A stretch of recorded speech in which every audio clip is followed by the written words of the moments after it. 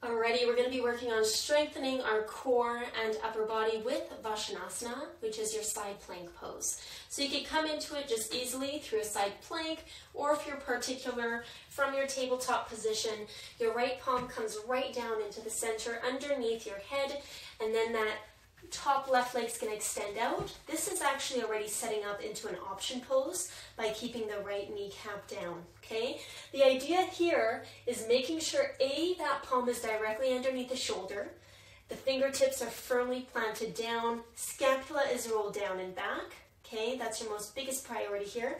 But as you start to extend that opposite leg back, so you're in your, you're in your classic side high plank pose, it's about the curvature of your lower back. So tuck the tailbone. You're trying to press that growing forward and then lifting up through the chest.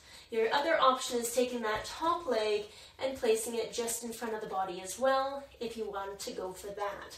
Taking about one to two more breaths before we switch on to the other side. So slowly release that left palm down, dropping down on the right knee, and then switching. Left palm down to the center of your mat, extending that back left leg, opening up and stacking the right side of the body on top of the left. Start to reach the right arm up. Again, priority is in that arm, and second is in that lower back. Pay attention that the bum does not fall. You're keeping your tailbone tucked, slight squeezing in through the side glutes. You'll feel it much more when you're coming into your full set, extending both legs toward the back of the mat. Many different variations, as have been noted. You can always take that top leg, place it in front of the body, and still get the same level of work and that firing through your belly. But once again, two more breaths, keeping your core line tight. Shoulders are stacked on top of each other, and then slowly release down.